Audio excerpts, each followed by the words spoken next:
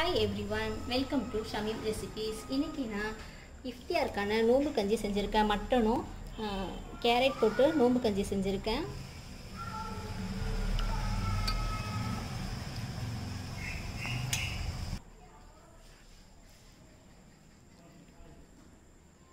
நான் மட்டன் போட்டு பாஸ்தா செஞ்சுருக்கேன்.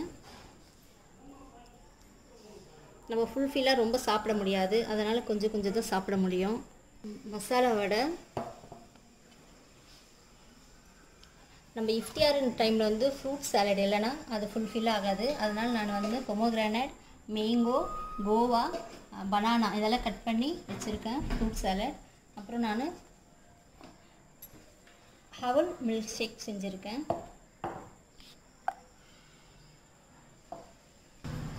மில்க் ஷேக் செஞ்சு வச்சுருக்கேன். நீங்களும் இதை வீட்டில் ட்ரை பண்ணி பாருங்கள் மறக்காமல் சப்ஸ்கிரைப் பண்ணுங்கள் மறக்காமல் லைக் பண்ணுங்கள் ஷேர் பண்ணுங்கள் கமெண்ட் பண்ணுங்கள் என்னோடய வீடியோ உங்களுக்கு பிடிச்சிருந்தா ஷேர் பண்ணுங்கள் பெல் ஐக்கான் பட்டனை மறக்காமல் கிளிக் பண்ணுங்கள் வாங்க வீடியோக்குள்ளே போகலாம்.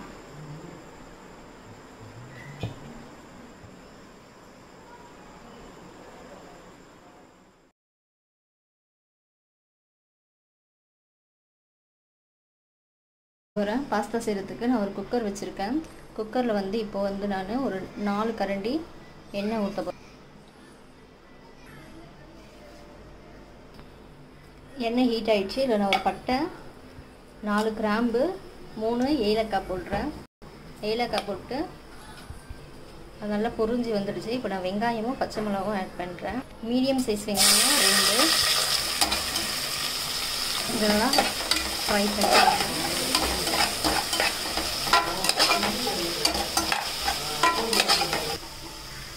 இதில் வந்து ஒரு டேபிள் ஸ்பூன் இஞ்சி பூண்டு பேஸ்ட் ஆட் பண்ணுறேன். இதோட பச்சை வாசனை போகிற வரைக்கும் நல்லா குக் பண்ணணும்.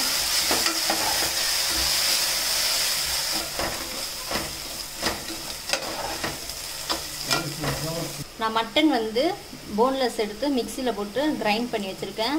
அது வந்து ஒரு இரநூத்தி ஐம்பது கிராமு.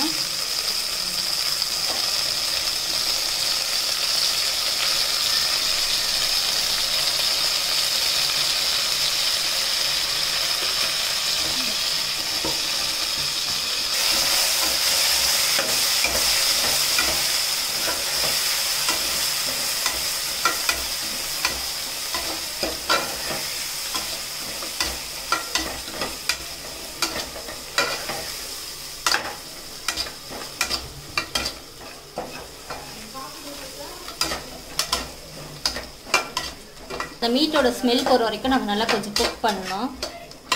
குக் பண்ணிவிட்டு அதுக்கப்புறம் தக்காளி ஆட் பண்ண போகிறோம் மீடியம் சைஸ் தக்காளி ரெண்டு வச்சுருக்கேன். அதையும் இதில் ஆட் பண்ணுறேன்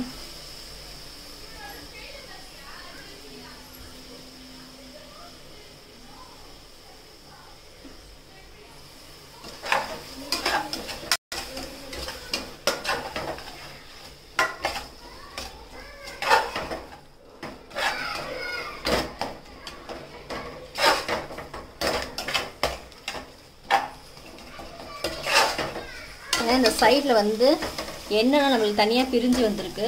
இந்த டைமில் வந்து நம்ம வந்து மசாலாலாம் ஆட் பண்ணிக்கலாம். மஞ்சத்தூள் வந்து கால் டேப் டேபிள் ஸ்பூன் வந்து மஞ்சத்தூள்.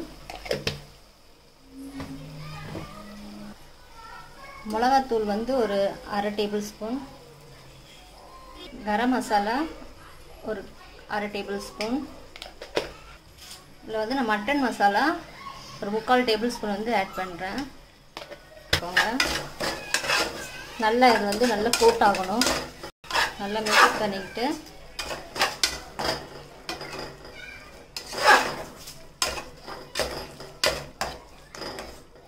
நான் ஒரு கைப்பிடி அளவு கொத்தமல்லி அண்ட் புதினா ஆட் பண்ணுறேன்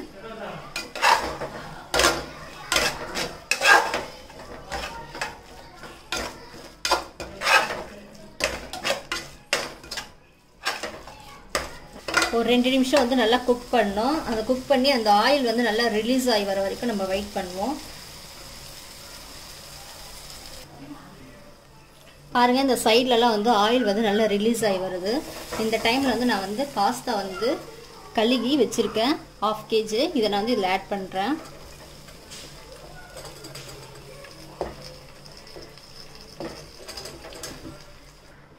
ஒரு வாட்டி நல்லா மிக்ஸ் பண்ணி விட்டுக்கோங்க.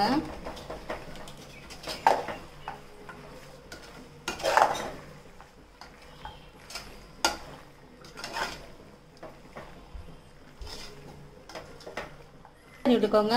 ஆஃப் கேஜிக்கு ஒன் லிட்டர் தண்ணி ஊற்றுறோம் நான் இப்போ இதில் ஒன் லிட்டர் தண்ணி ஆட் பண்ணுறேன்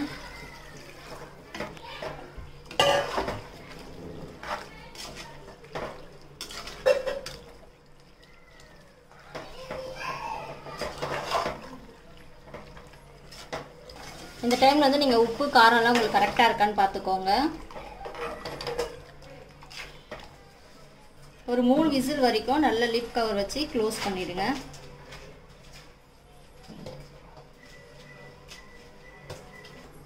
பாருங்கள் நான் லிப் கவர் வச்சு க்ளோஸ் பண்ணிடுறேன். மூணு விசில் வர வரைக்கும் வெயிட் பண்ணலாம். பாருங்கள் எம்மியான பாஸ்தா ரெடி ஆயிடுச்சு. நீங்களும் வீட்டில் ட்ரை பண்ணி பாருங்கள் நான் இப்போ வந்து அவுல் மில்க் ஷேக் செய்ய போகிறேன் அதுக்கு நான் ஒரு பேன் ஹீட் வச்சுருக்கேன். அப்புறம் வந்து நான் வந்து ஒரு ஒரு இரநூத்தி ஐம்பது அவுல் வந்து ரோஸ்ட் பண்ண போகிறேன்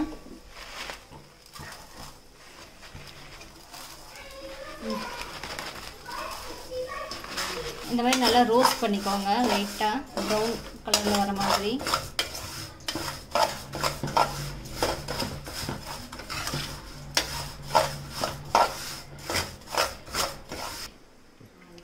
ஒரு கால் கிலோ டேட்ஸ் வச்சுருக்கேன். அது உள்ளே இருக்க அந்த சீட்ஸ் எல்லாம் நான் ரிமூவ் பண்ணிவிட்டு வெறும் டேட்ஸ் மட்டும் வச்சுருக்கேன். அந்த டேட்ஸ் வந்து நான் வந்து ஆட் பண்ணுறேன் கிரைண்ட் பண்ணுறதுக்கு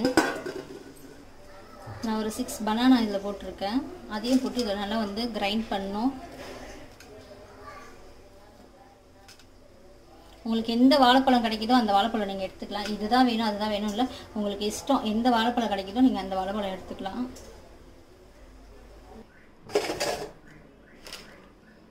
இதில் வந்து நான் ஃபுல் மில்க் எடுத்திருக்கேன்.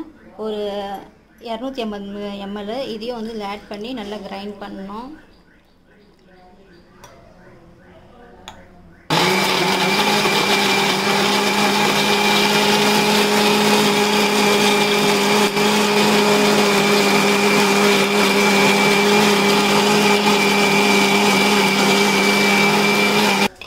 பாருங்கள் நல்ல ஒரு போட்டு பாருங்கள் இது வந்து நம்ம சுகர் ஆட் பண்ண வேண்டியதில்லை. ஏன்னா வந்து அதுலேயே வந்து நம்ம டேட்ஸ் போட்டிருக்கனால நம்ம சுகர் ஆட் பண்ண தேவையில்லை. இப்போ இந்த ரோஸ் பண்ண அவல் இருக்குங்களே அது வந்து நம்ம வந்து ஒரு பாத்திரத்தில் போட்டு விட்றோம் இது போட்டுட்டு இப்போ நம்ம இதில் வந்து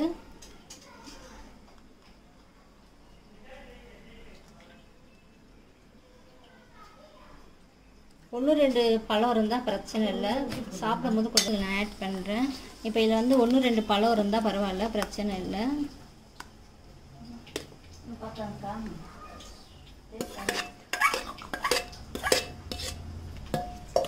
பாருங்கள் இதான் மில்க் ஷேக்கு பார்க்கும்போது இவ்வளோ கலர்ஃபுல்லாக இருக்குது பார்த்தீங்களா இது சாப்பிட்டு பார்த்தீங்கன்னா உங்களுக்கு ரொம்ப நல்லாயிருக்கும் பசங்களுக்கும் இது ரொம்ப நல்ல ஒரு ஹெல்த்தியான ஒரு டிஷ்ஷு ஏன்னா பசங்க வந்து இந்த டேட்ஸு பனானா இதெல்லாம் எதுவும் சாப்பிட மாட்டாங்க. அதனால் இந்த மாதிரி நீங்கள் செஞ்சு கொடுத்தீங்கன்னா அவங்களுக்கு ரொம்ப பிடிக்கும். அவங்களும் வந்து நல்லா சாப்பிடுவாங்க. இது வந்து சீக்கிரமாகவும் செய்யக்கூடிய ஒரு விஷயந்தான் ஒரு ரெண்டு நிமிஷத்தில் செஞ்சிடலாம் நம்ம. பசங்களுக்கு ரொம்ப ரொம்ப ரொம்ப பிடிக்கும். நீங்கள் ஒரு வாட்டி ட்ரை பண்ணி பாருங்கள் பார்த்துட்டு கண்டிப்பாக எனக்கு வந்து ஷேர் பண்ணுங்கள் கமெண்ட் பண்ணுங்கள் இது எப்படி இருந்துச்சு சொல்லிட்டு. நான் இன்னைக்கு வந்து நோம்பு கஞ்சி செய்ய போகிறேன் நான் லாஸ்ட் டைம் வந்து நோம்பு கஞ்சி செஞ்சேன். ஆனால் அது வந்து பிளைன் நோம்பு கஞ்சி. இன்னைக்கு நான் வந்து மட்டனோட கொத்துக்கறி வச்சும் கேரட் போட்டும் நோம்பு கஞ்சி செய்ய போகிறேன் ஃபஸ்ட்டு பார்க்காதவங்க வந்து லிங்க் பட்டன் லிங்க் வந்து கீழே இருக்கும். பார்க்காதவங்க பாருங்கள் நான் வந்து குக்கரில் வந்து மூணு கரண்டி எண்ணெய் விடுறேன் எண்ணெய் விட்டுட்டு எண்ணெய் சூடாகிற வரைக்கும் கொஞ்சம் வெயிட் பண்ணுவோம். எண்ணெய் வந்து சூடாயிடுச்சு. ஒரு பட்டை நாலு கிராம்பு மூணு நாலு ஏலக்காய் போடுறேன். அது கொஞ்சம் நல்லா வதங்கி வந்துட்டோம். நான் ரெண்டு வெங்காயம் ஸ்லைஸ் ஸ்லைஸாக கட் பண்ணி வச்சுருக்கேன். அதை வந்து ஆட் பண்ணுறேன்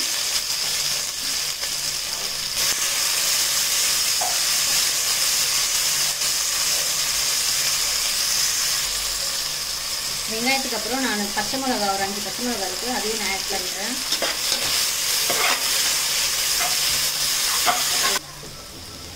இப்போ வெங்காயம் வந்து நல்லா குக் ஆகிடுச்சு இப்போ நான் ஒரு டேபிள் ஸ்பூன் வந்து இஞ்சி பூண்டு பேஸ்ட் போடுறேன்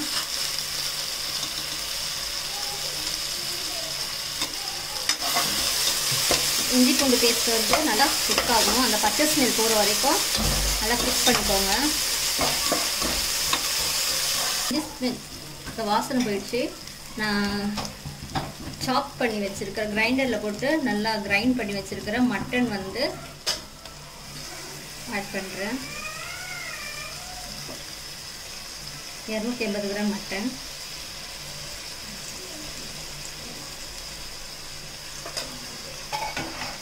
இதையும் இதோட நல்லா அந்த ஸ்மெல் போகிற வரைக்கும் குக் பண்ணிக்கோங்க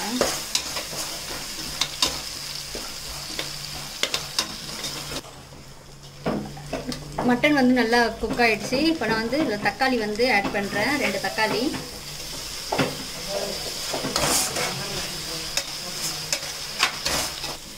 தக்காளி நல்லா குக் ஆகிடுச்சு நான் அதில் வந்து கேரட் ஆட் பண்ணுறேன் சில பேர் வந்து இறைச்சி போட்டாங்கன்னா கேரட் யூஸ் பண்ண மாட்டாங்க. கேரட் போட்டால் இறச்சி யூஸ் பண்ண மாட்டாங்க. ஆனால் நான் இன்றைக்கி ரெண்டுமே போட்டு செய்கிறேன் இதுவும் நல்லா எக்ஸ்ட்ரானரி டேஸ்ட்டாக தான் இருக்கும். ஒரு வாட்டி ட்ரை பண்ணி பாருங்கள் நல்லாயிருக்கும் ஒரு கால் டேபிள் ஸ்பூன் வந்து மஞ்சள் தூள் ஒரு அரை டேபிள் ஸ்பூன் வந்து மிளகாத்தூள் ஆட் பண்ணுறேன் ஆட் பண்ணிவிட்டு அதையும் நல்லா மிக்ஸ் பண்ணிக்கோங்க. இதில் வந்து இதில் வந்து புதினா கொத்தமல்லி ஆட் பண்ணுறேன்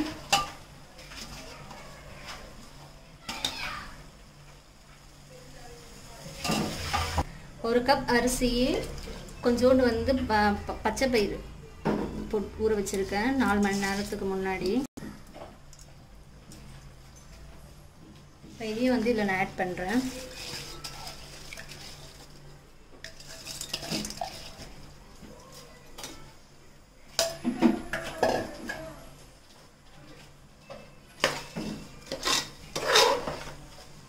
இந்த ரொட்டி இதில் நல்லா அப்படியே கோட் ஆகிற மாதிரி கொஞ்சம் கிளறி எடுத்துக்கோங்க.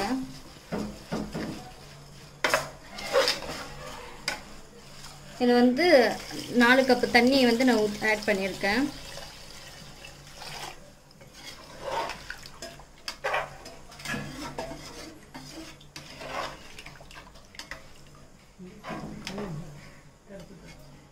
அவ்வளோதான் ஒரு லிட் கவர் வச்சு க்ளோஸ் பண்ணிவிட்டு நாலு விசில் வந்தோடனே இறக்கிடுங்க. தேவையான அளவு உப்பு போட்டுட்டு இது வந்து நல்லா ஒரு கலர் ஒரு வாட்டி நல்லா கிளறி விட்டுக்கோங்க. நல்லா கிளறி விட்டுட்டு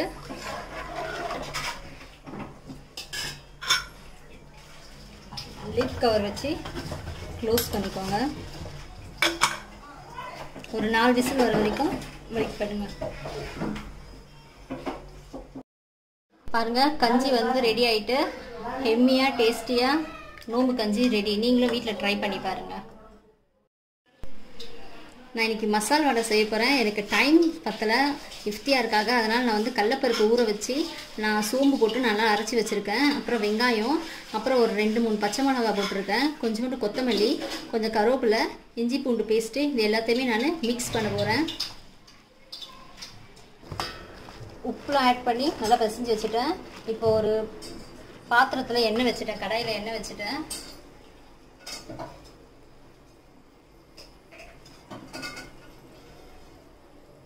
இப்போ எண்ணெய் சூடாச்சு நான் வந்து ஒரு பால் மாதிரி உருட்டிட்டேன். உருட்டிட்டு கையில் இப்படி வச்சு நல்ல ஒரு ஷேப் மாதிரி பண்ணி இப்போ நான் எண்ணெயில் போடுறேன்.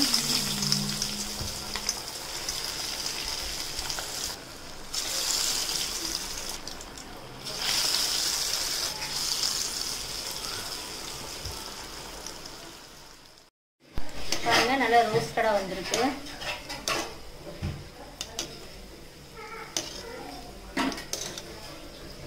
பாருங்க நல்லா ரோஸாக வந்திருக்கு. நல்லா சாப்பிட்றதுக்கும் நல்லா ஹெல்மியாக இருக்கும்.